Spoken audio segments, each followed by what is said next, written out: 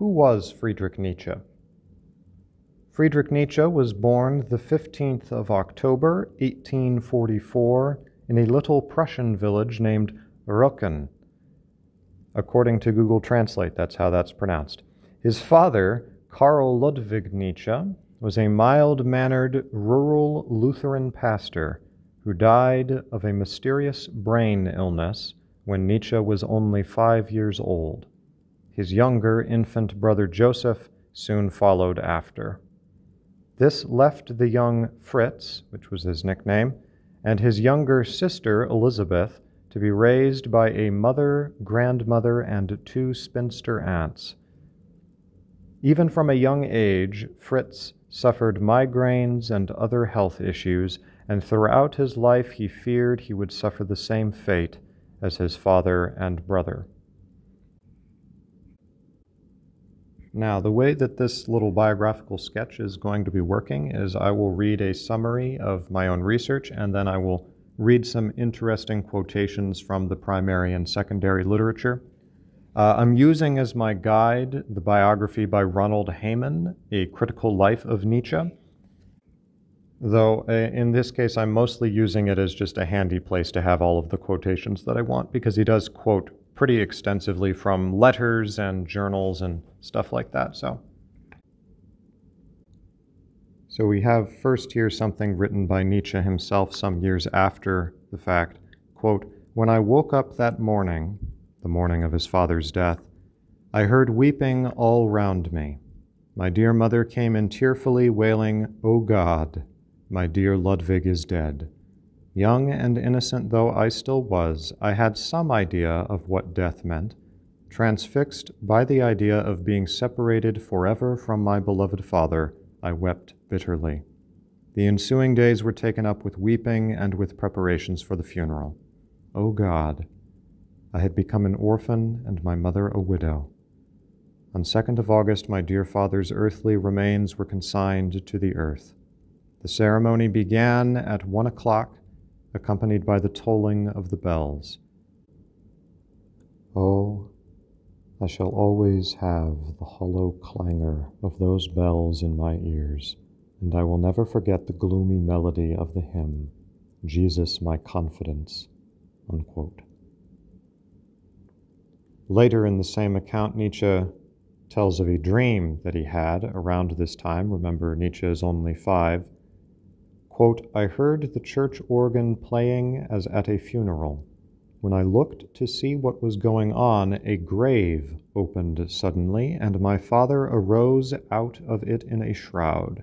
He hurries into the church and comes back with a small child in his arms. The mound on the grave reopens he climbs back in, and the gravestone sinks back over the opening.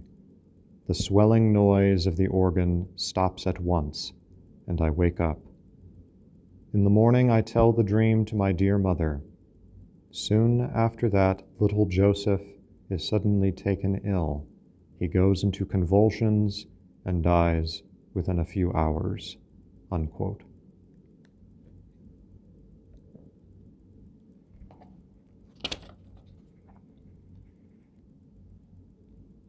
The next quotation is uh, who is this from?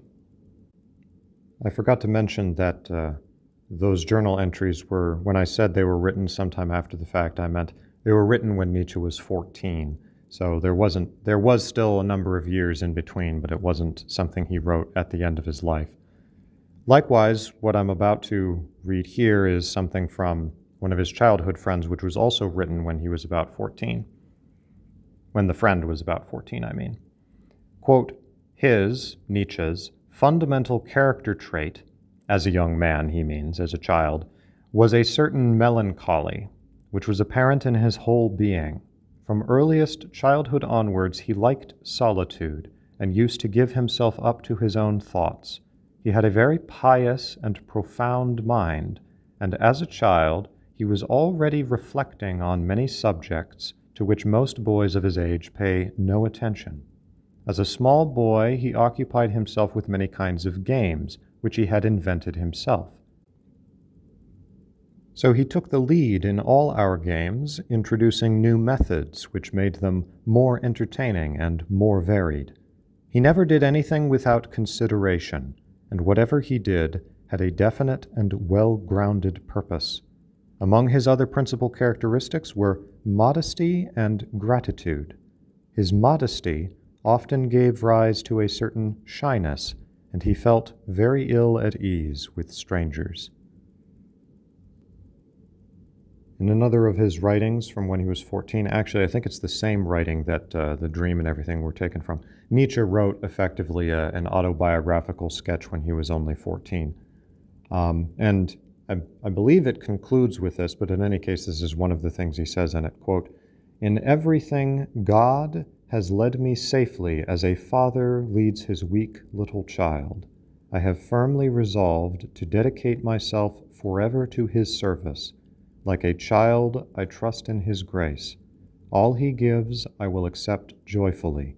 Happiness and unhappiness, poverty and riches, boldly confront even death, which will one day unite us all in eternal joy and bliss.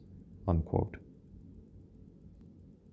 Ronald Hayman reports a episode from Nietzsche's youth when he was at school quote, the sadomasochism concealed behind his severity with himself came to the surface when he became involved in an argument about Gaius Mucius Scaevola.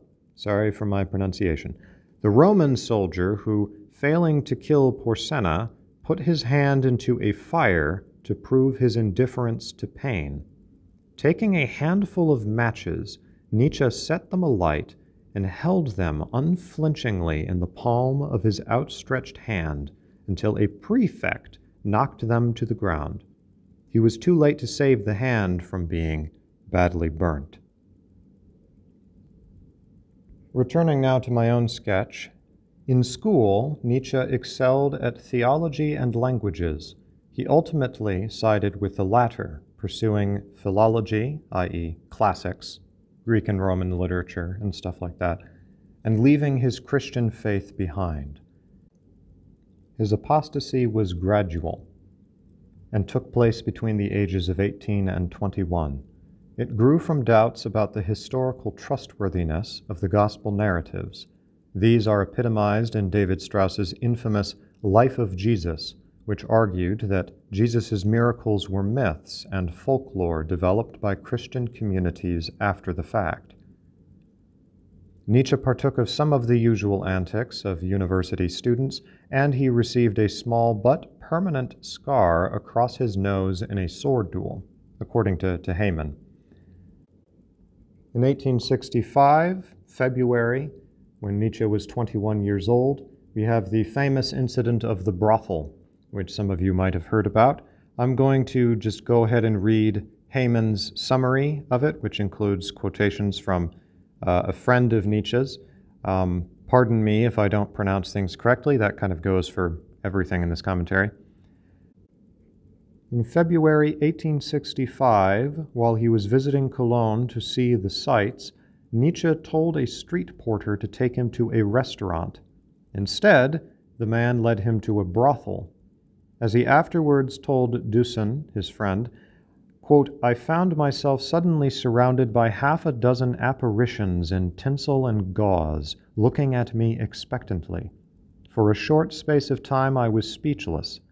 Then I made instinctively for the piano as being the only soulful thing present. I struck a few chords, which freed me from my paralysis, and I escaped. Unquote. He had told Deussen at one point, according to Hayman, he was going to need at least three women, but his friend was left with the impression that Nietzsche remained a virgin throughout his life. That has, of course, been contested by many later writers and gossipers, frankly. There's uh, it, Nietzsche has very often been associated with syphilis. It's been very often claimed as though it were a simple matter of fact that well, Nietzsche contracted syphilis, and they point to the brothel story and say, well, he probably went back or was lying or something, and he got syphilis there, and it slowly killed him and made him go crazy, and that's what happened. Uh, I'm not going to spend too much time on this. All I'll say is that my own opinion is this is a very long and silly myth, and I'm going to quote from an article by a fellow named Leonard Sax, who I think he's done the best, most definitive analysis of this situation, and there's been more articles since, but I'll post the Leonard Sax article in the description. And I'll simply read his conclusion, but you can read the full article for yourself. Quote, when examined closely, every aspect of the syphilis hypothesis fails.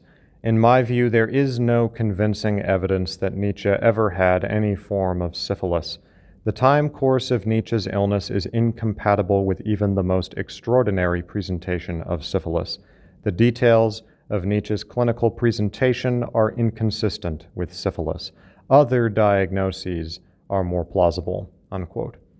And it is also worth reminding everyone that uh, Nietzsche's headaches and basic symptoms began when he was young, around the time that his father died, hence his fear that he was going to suffer the same fate as his father. In fact, I didn't really make it clear, but the symptoms that Nietzsche suffered seemed to bear some similarity with the symptoms that his father suffered before his father's death.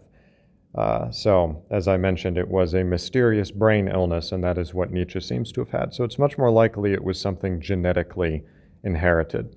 Maybe Nietzsche did have syphilis on top of everything, but uh, I don't know. That just doesn't seem to make sense. I don't know enough about the medical history and uh, medicine in general, but um, there are plenty of good articles that you can look up that are trying to diagnose what Nietzsche actually had, and the Leonard Sax article is a very good place to start.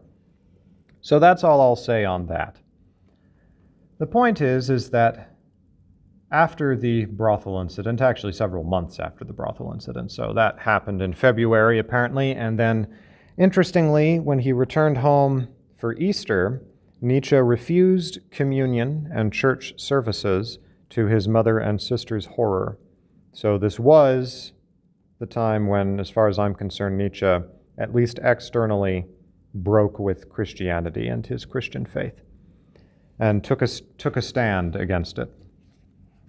Uh, I will, in sort of connection with this, read a brief poem that Nietzsche wrote in 1864, which was a year before his break with Christianity. It is entitled To the Unknown God. Quote, Once again, before I depart, before I look at the road so lonely, I raise my hands to you, the only refuge for my high flying heart. Deep inside me is your altar, so however much I falter, and whatever may befall me, your voice will always call me. Unquote. Philosophically, Nietzsche's principal influence up to this point was Ralph Waldo Emerson. This was eclipsed when Nietzsche discovered Arthur Schopenhauer in October of 1865. So this is not long. This is the same year as his break with Christianity he discovers Schopenhauer. Schopenhauer taught that the outside world is an illusion which masks a more fundamental reality, which he called the will, which is discoverable through introspection.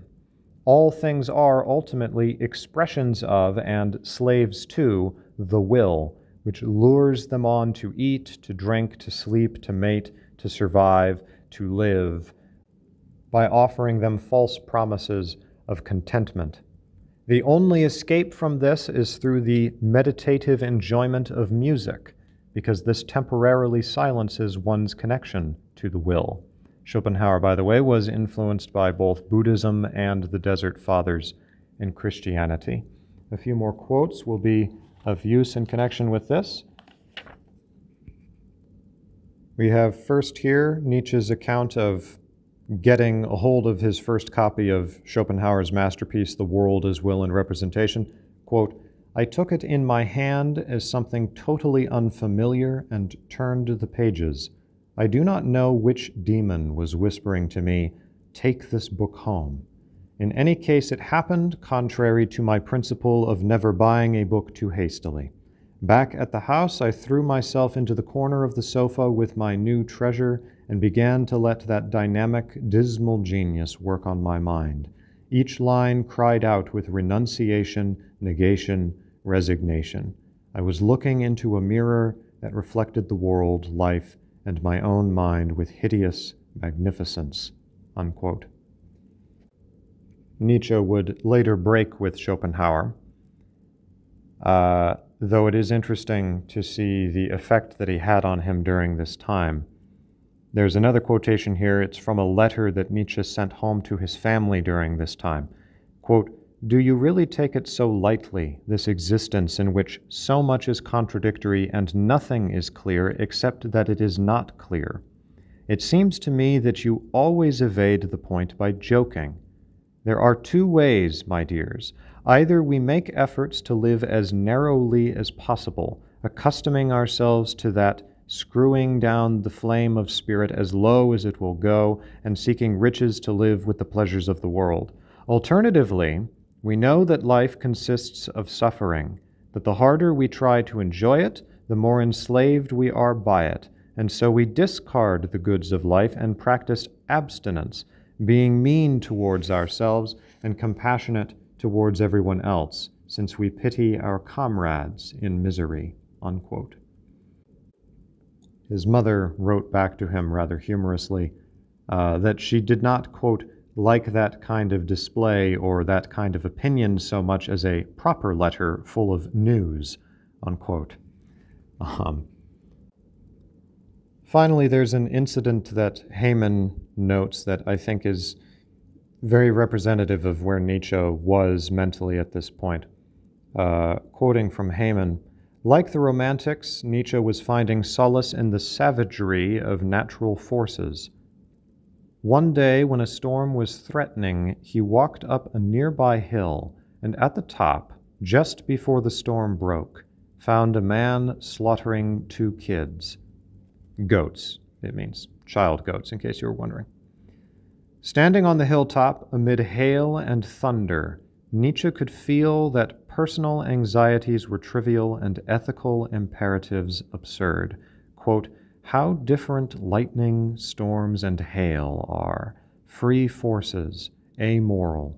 How happy and how powerful they are, pure will, with no intellect to oppress them. Unquote.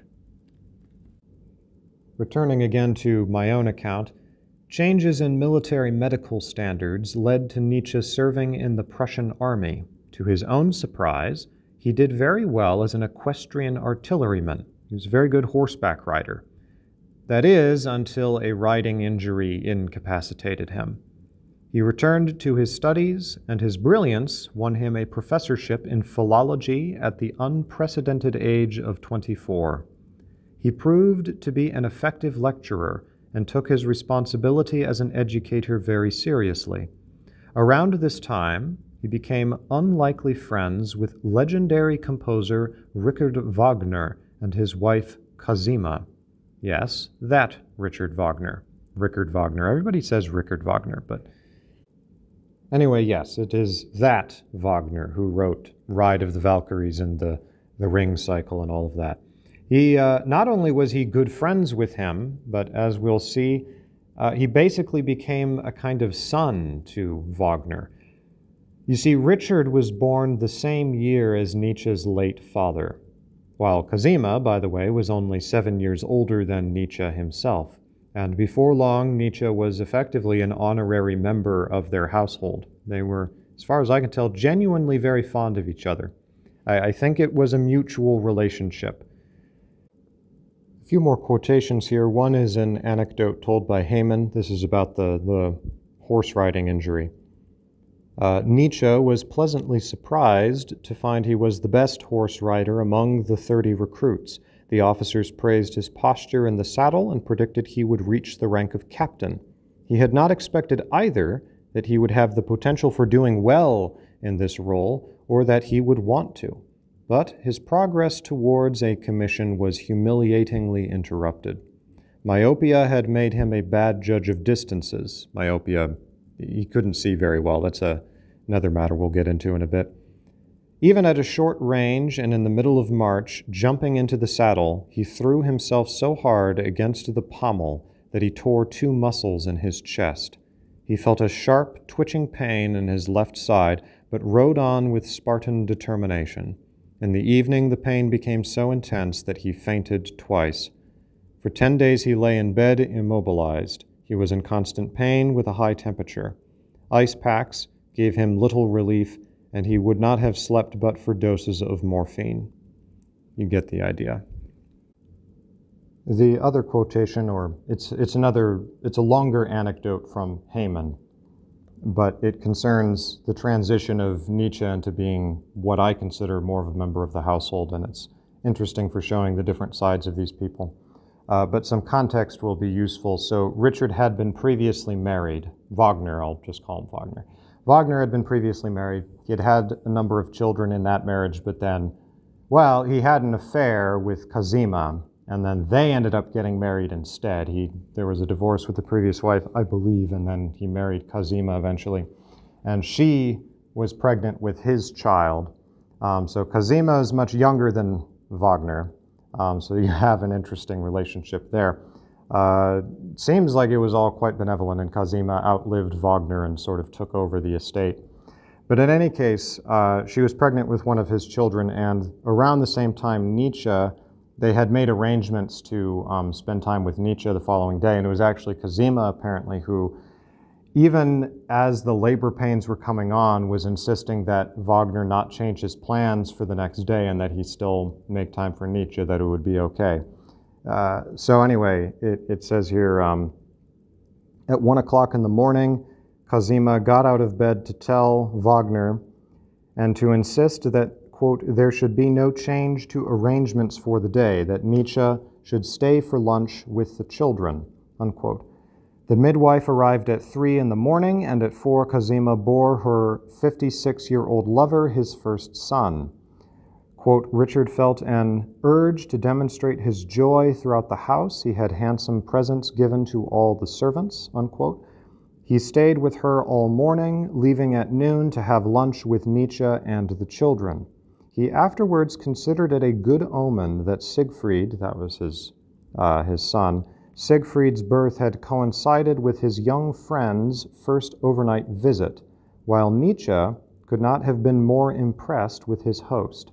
So there's an interesting symbolism going on there that Nietzsche's first overnight stay was the very night that Cosima gave birth to Richard's first son with Cosima. So it's, it's just an interesting, uh, I don't know, it's, it shows at least where their psychology was, that he, Wagner noticed the connection there.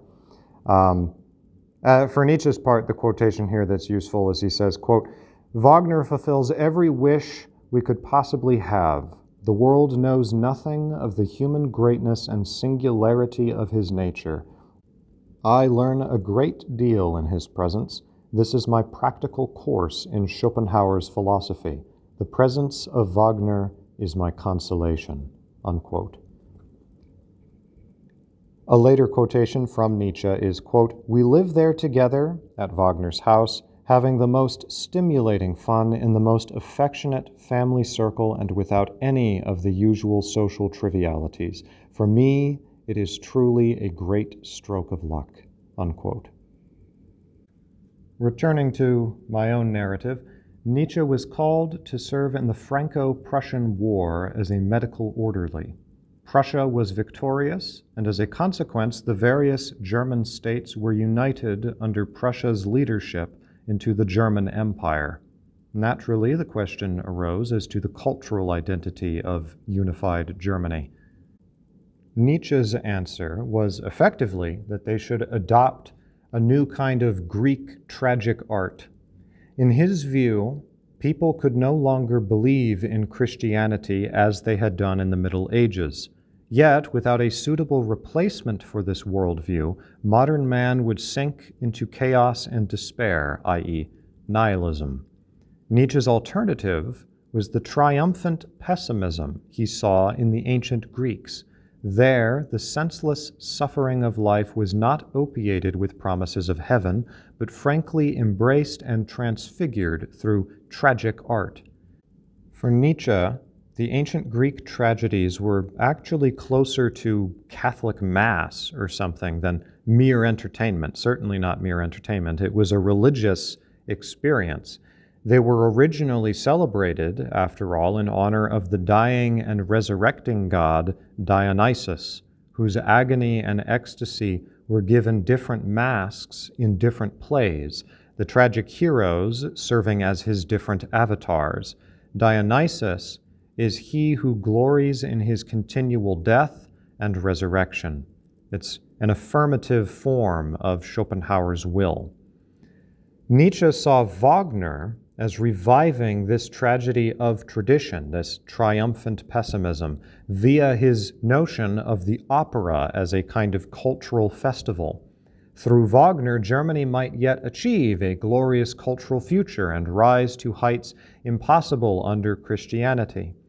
This was more or less, it's my interpretation, but it's more or less the agenda behind Nietzsche's first published book called The Birth of Tragedy.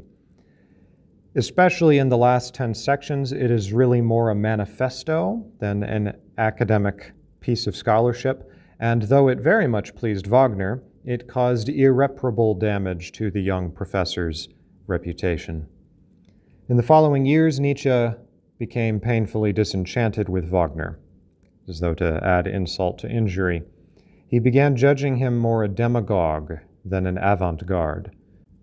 Around this time, Wagner had commissioned the building of his own theater house in the town of Bayreuth, Germany, dedicated to showcasing his operas at an annual festival.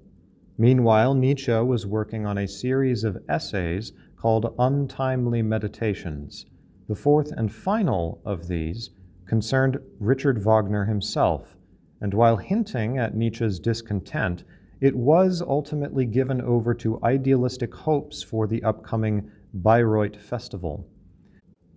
Nietzsche looked forward to seeing his dreams of cultural renewal realized through Wagner. He was sorely disappointed, however. Mostly he was disappointed by the atmosphere of Philistinism, populism, nationalism, and anti Semitism.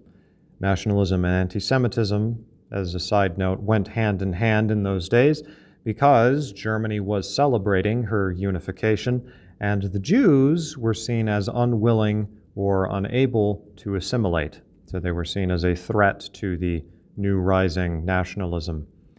Wagner, Nietzsche realized, was not really creating a cultural vanguard or trying to resurrect pre Christian religion. He was merely entertaining wealthy flatterers and Philistines. In other words, he'd sold out. A useful quote to this effect uh, is from Nietzsche himself. Quote, even to those most intimately concerned, the ideal was not what mattered most. Then there was the pathetic crowd of patrons at the Bayreuth festival, all very spoilt, very bored, and unmusical as yowling cats. The whole idle riff-raff of Europe had been brought together and any prince who pleased could go in and out of Wagner's house as if it were a sporting event, and fundamentally it was nothing more. In other words, what Nietzsche wanted, effectively, was for this to be a religious occasion. and that's not what it was. It was a pop culture event. Um, and that's all that really Wagner seems to have truly intended for it, Nietzsche realized, and that greatly disappointed him. Uh, regarding the relationship of Nietzsche and Wagner, I think one of the best resources out there is a video by the channel Essential Salts. He has something called the Nietzsche podcast, and actually, in general, major endorsement of that podcast. It's excellent. Um, yeah, definitely check that out. But I'll, I'll, a good a good place to start, I think, is just his account of the Nietzsche Wagner relationship. Um, he is a better scholar of Nietzsche than I am, I would think, um, even if I am inclined not to agree on certain subtle points of interpretation of his philosophy. Certainly, for the historical context, definitely check him out. We'll check him out for everything. He's he deserves the attention. Um, in any case, uh, that is that is what I'll say about that. Moving on with my narrative. Two years later, after the Bayreuth Festival, in 1878, Nietzsche published his third major work, entitled Human All Too Human. This was, in fact, the first work to feature his famous aphoristic style. This book solidified his break with Wagner by criticizing him, a good way to do it, along with German nationalism and anti Semitism, along with all kinds of other things. It also praised several French thinkers whom Wagner detested on principle. Remember that Germany was unified after being at war with France. Wagner would later publish a polemic against Nietzsche, though not mentioning him by name. I have not read this polemic, by the way. I'm getting this information from Hayman, but I read that and was like, I'm going to include that. So uh, the break, the point here is that the break seems to have been mutually traumatic. I have a couple of quotations to this effect. Well, really more anecdotes. One of them is from Hayman, where he says, Gast, Peter Gast was a friend of Nietzsche's. We'll talk about him at the end of the end of this sketch, but suffice it to say that Peter Gast at one point played the third act of Twilight of the Gods as a piano duet. Nietzsche was frightfully upset at this. According to Gast, quote, he went quite pale and solemnly warned me that I must never again let him hear this mad, distorted music of Wagner's. Unquote.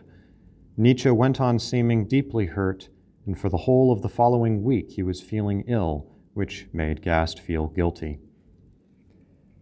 So that certainly indicates some trauma going on there. Um, there is a story on Wagner's end as well, actually, though I haven't been able to track it down for the purpose of this video. Um, but I'll relate it anyway in case one of you guys are luckier than I was, because I know I heard it someplace else. It's that some years after the break with Wagner, uh, somebody mentioned Nietzsche and was talking about Nietzsche while visiting Wagner. And upon hearing Nietzsche's name, Wagner had to step out of the room because he was so upset. And then when he had composed himself, he came back in and said, You will not utter that name in my presence again. I don't know if I'm exaggerating that, but that is how I recall the story being told. Again, if one of you can actually verify that, that'd uh, be handy for my little thesis that this was a mutual, mutually traumatic experience. I, I think it's incorrect to say that Nietzsche was hero worshiping Wagner and Wagner had no feelings back towards Nietzsche. I certainly think that that is not true. Um, in any case, the following year, 1879, after the break with Wagner, Nietzsche's health declined drastically, and uh, so much, in fact, that he was forced to resign his professorship and to live on a pension. In particular, he suffered migraine headaches terrible eyesight, punctuated, in fact, by moments of sudden blindness, and violent indigestion with frequent vomiting. His 36th birthday would be in 1880, and Nietzsche had every reason to think the end was near. This is because Nietzsche's father died at the age of 36. But death was tardy, and Nietzsche gradually recovered. He was blessed with one more decade in which to work. He spent it exchanging the climates and doctors of Switzerland, France, and Italy, but despite all the protests of his health, he continued to write. He reports, for example, well, this is according to Hayman, during the second half of February, he had two violent attacks with vomiting, one lasting for four days, the other for six. He lectured only once, this is before his departure from the university, and at the end of February there was a night when he thought he was dying. He was glad to have completed the second part of Human All Too Human. Quote, Dear Heaven, perhaps it is my last work. Unquote. This was from a letter he wrote to Peter Gast. In December of that year, I believe, uh, Nietzsche had his worst Christmas yet, according to Hayman. After three days and nights of vomiting, he fell into a coma on the 27th. Before it, he had been longing for death, and afterwards he thought death was near. Quote, if I cannot escape into better, warmer air, the worst will happen. Unquote. In one of his letters, he wrote, quote, My existence is a fearful burden. I would have thrown it off long ago if I had not been making the most instructive tests and experiments on mental and moral questions in precisely this condition of suffering and almost complete renunciation. On the whole, I am happier than ever before, and yet continual pain. For many hours of the day, a feeling closely akin to seasickness, a semi paralysis which makes it difficult to speak alternating with furious attacks, my consolation is my thoughts and perspectives. I write nothing at a desk, but on my way here and there I scribble on a scrap of paper.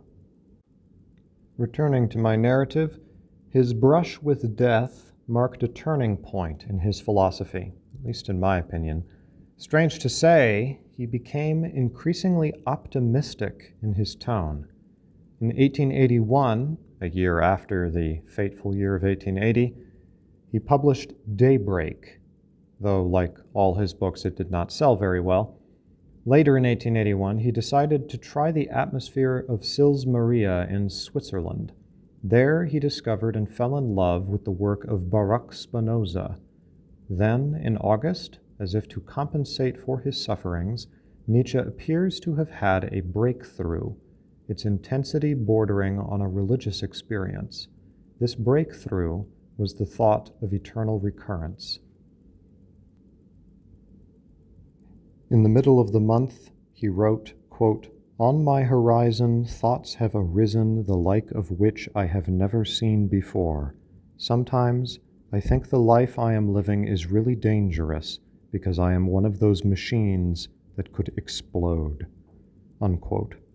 Several times he had found his eyes were so inflamed that he could not leave his room. Quote, Each time I had wept too much the previous day while I was walking, and not tears of sentimentality, but jubilation. I sang and talked nonsense, possessed by a new attitude. I am the first man to arrive at it. Unquote. Hayman says that in none of these letters to Gast and his sister Elizabeth did he describe the new attitude, but the first notes relevant to Thus Spake Zarathustra contained the jotting, quote, Beginning of August 1881 in Sils Maria, 6,000 feet above the sea and much higher above all human things. Exactly what happened he never tells us, but he appears to have asked himself how he would react if given the chance of repeating the whole of his life exactly as it had been. He was 37 years old at this time. I'm actually going to go ahead and read the section from The Gay Science, one of his later books, where he gives the thought of eternal recurrence.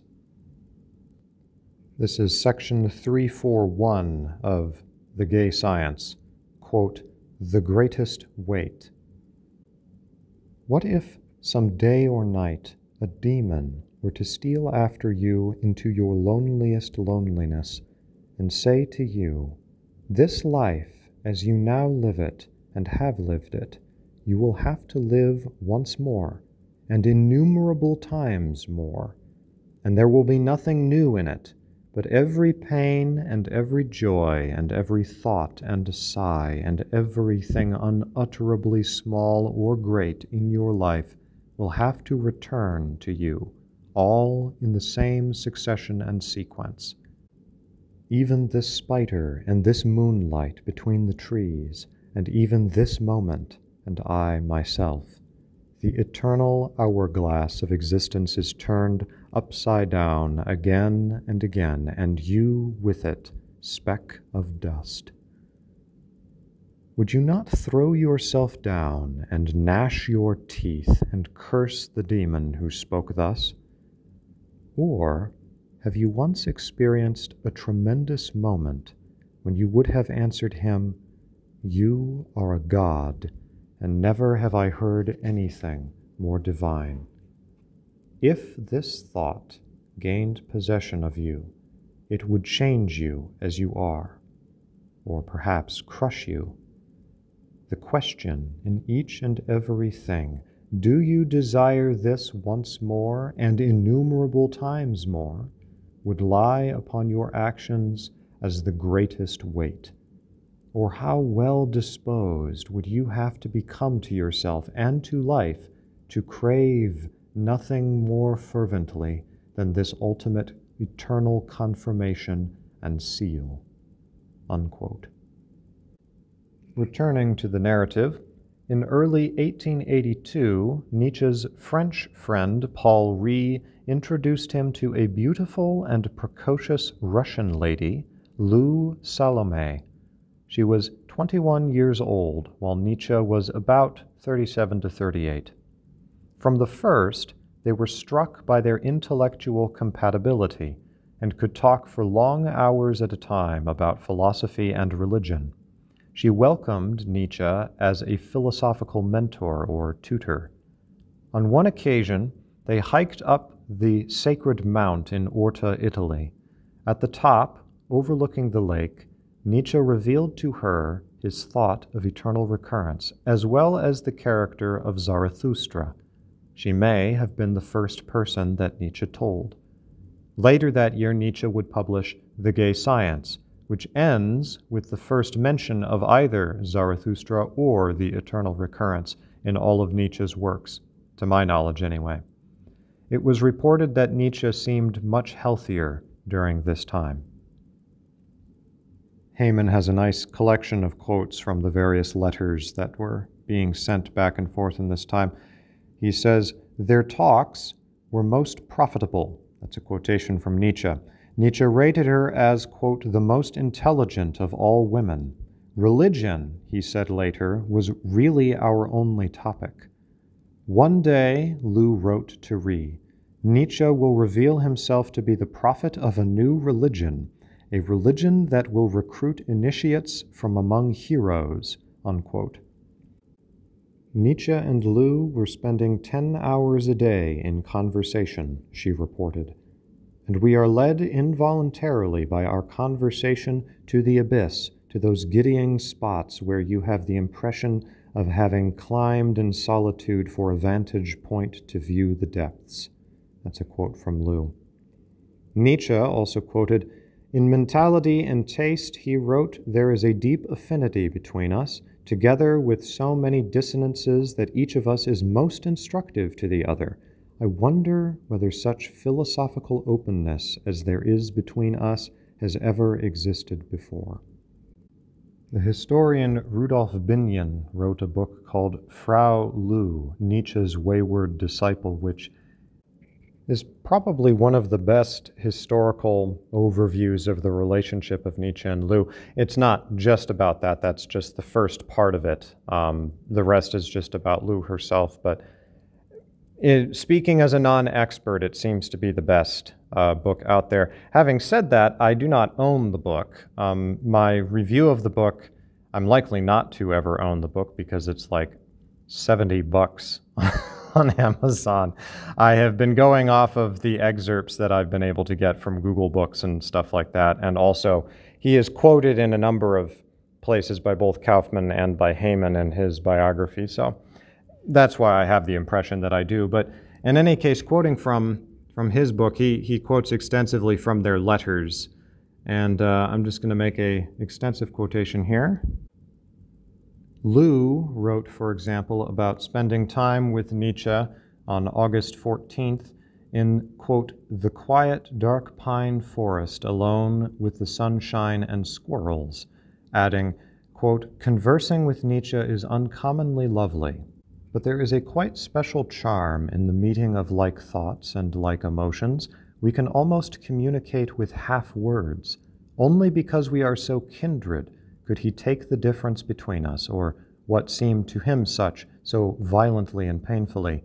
The content of a conversation of ours really consists in what is not quite spoken, but emerges of its own from our tacit exchanges. He gave me his hand, and said earnestly and with feeling, Never forget that it would be a calamity if you did not carve a memorial to your full innermost mind in the time left to you. But is it good for him to spend the whole day, from morning to night, in conversation with me, hence away from his work? When I asked him this today, he nodded and replied, but I do it so seldom, and am enjoying it like a child.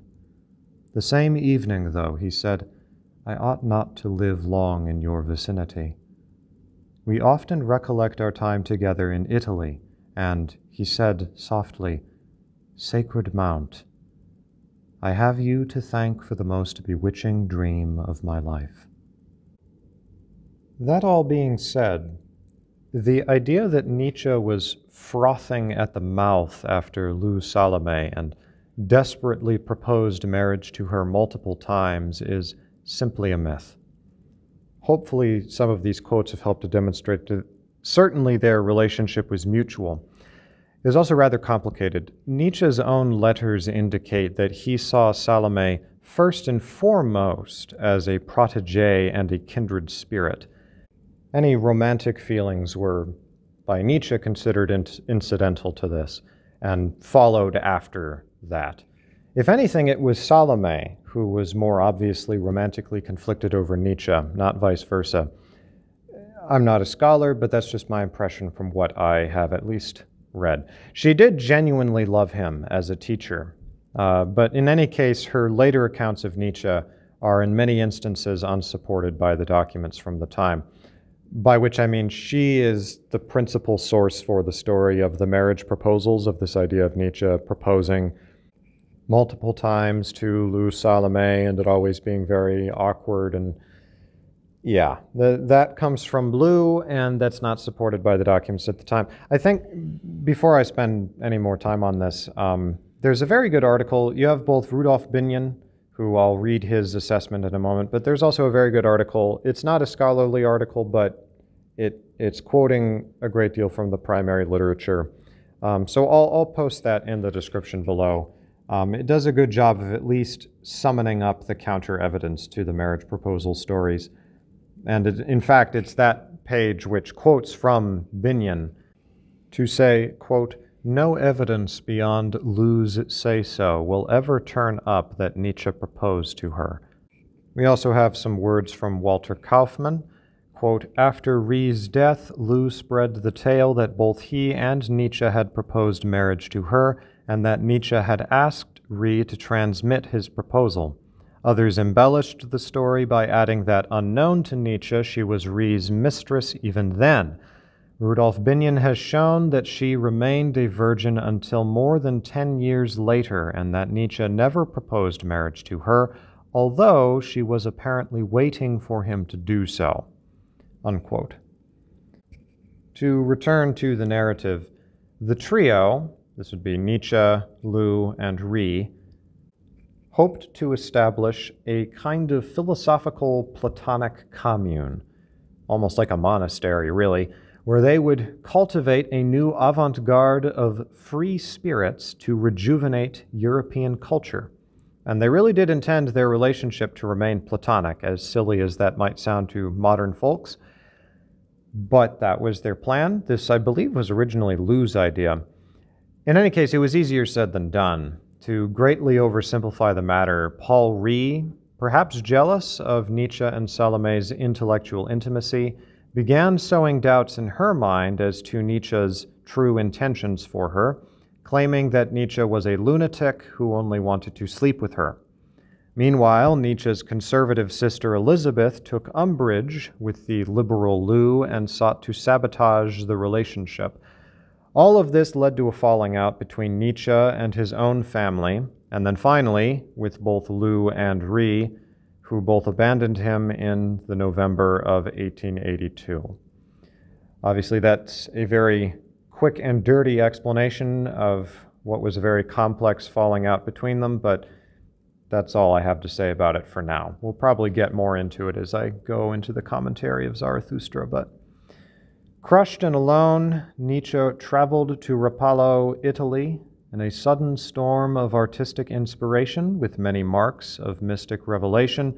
He produced, in only 10 days, the first book of his magnum opus, Thus Spake Zarathustra. It was serendipitously published the same day that Wagner died.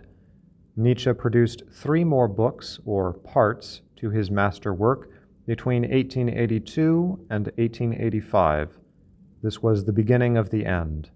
In 1886, he published Beyond Good and Evil at his own expense, followed in 1887 by On the Genealogy of Morals.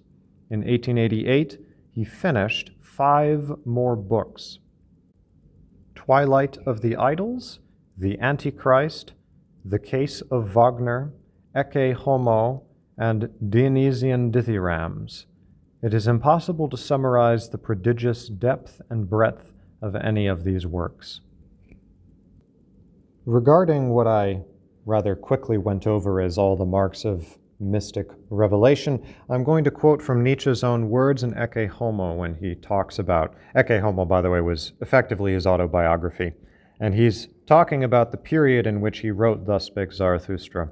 Quote, has anyone at the end of the 19th century a clear idea of what poets of strong ages have called inspiration? If not, I will describe it. If one had the slightest residue of superstition left in one's system, one could hardly reject altogether the idea that one is merely incarnation, merely mouthpiece, merely a medium of overpowering forces. The concept of revelation, in the sense that suddenly, with indescribable certainty and subtlety, something becomes visible, audible, something that shakes one to the last depths and throws one down, that merely describes the facts. One hears, one does not seek, one accepts, one does not ask who gives. Like lightning, a thought flashes up with necessity without hesitation regarding its form. I never had any choice. A rapture whose tremendous tension occasionally discharges itself in a flood of tears. Now the pace quickens involuntarily, now it becomes slow. One is altogether beside oneself, with the distinct consciousness of subtle shudders and of one's skin creeping down to one's toes, a depth of happiness in which even what is most painful and gloomy does not seem something opposite, but rather conditioned, provoked, a necessary color in such a superabundance of light. An instinct for rhythmic relationships that arches over wide spaces of forms, length, the need for a rhythm with wide arches is almost the measure of the force of inspiration, a kind of compensation for its pressure and tension. Everything happens involuntarily in the highest degree, but as in a gale of a feeling of freedom, of absoluteness, of power, of divinity. The involuntariness of image and metaphor is strangest of all. One no longer has any notion of what is an image or a metaphor. Everything offers itself as the nearest, most obvious, simplest expression. It actually seems to allude to something Zarathustra says, as if the things themselves approached and offered themselves as metaphors. This is my experience of inspiration. I do not doubt that one has to go back thousands of years in order to find anyone who could say to me, It is mine as well. Unquote. One can, of course, uh, critique this position. Kaufmann himself critiques it, saying that there are many people, certainly shorter than thousands of years ago, but that's beyond, besides the point. That is Nietzsche's very strange description of the conditions he was under when he wrote and conceived of and figured out Thus Spake Zarathustra. On the 3rd of January 1889, at the age of 44, Nietzsche suffered a mental breakdown, the first in a wave of a coming storm of dementia. He began to write manic memos to his current and former friends, signing them alternatively Dionysus or the Crucified, and incoherently referencing his superhuman authority and power. His friends and family sought treatment for him, but to no avail. Just then, his works began to gain popularity and recognition. His sister, the same one who sabotaged his relationship with Lou, had just returned from her failed attempt at a proto Nazi commune in Paraguay. It's a very long story. uh, I'll try to summarize it here. His sister married a staunch anti Semite named uh, Forster, and uh, together they went to Paraguay. And uh, I say proto Nazi. Um, I don't know that much about it, but that's how it's usually described. I mean, it, it was anti Semitic to its core. Anyway, it was a weird project and it failed. I believe that her husband Forster committed suicide actually, and it was after that that she returned to Germany. Um, but in any case, she returns around this time, presumably because she hears about the breakdown, and she took over his estate uh, and capitalized on his newfound success by tailoring, through censorship and even through forgery, Nietzsche's writings in order to appeal to an anti Semitic nationalist audience. After the death of their mother, Elizabeth set her brother up as a tourist attraction effectively for wealthy visitors, and for ten more years he withered away in dementia and paralysis before dying of a stroke at noon on the 25th of August, 1900. Three friends remained with him to the bitter end and therefore deserve explicit mention. Heinrich Koselitz was a former student who became Nietzsche's secretary and transcriptionist. Nietzsche gave him the nickname and pseudonym Peter Gast. So when I was mentioning Peter Gast, that's who that is.